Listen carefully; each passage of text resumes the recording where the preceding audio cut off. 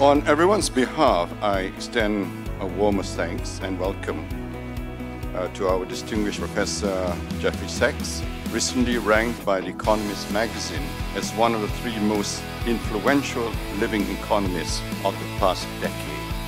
I just want to say that we're totally committed to make a full opportunity of this wonderful, wonderful vision of yours uh, to welcome us in this way. Prime Minister, we will be here working we're at the disposal of your government. We will be here in four main capacities teaching programs, we're here for research, we're here to work with the government, and fourth, we're here to help uh, in innovation.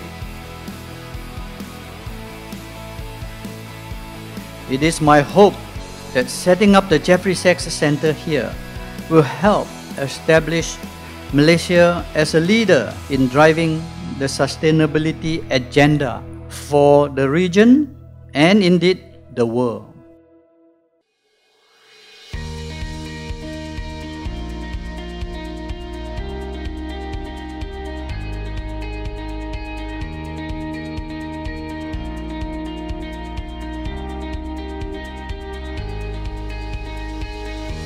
Well, I think it's really exciting because sustainable development is now one of the big challenges for the whole planet.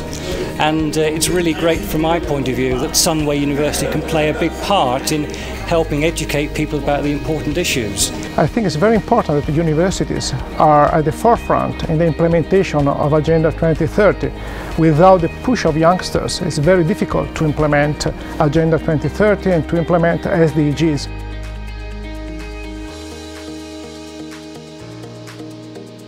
Uh, I think that the Jeffrey Sachs Center is really a towering example in promoting, of course, uh, first of all, in, in Malaysia, to let the general public to understand the importance of the SDG and to understand its substance and also to implement in the Malaysian context.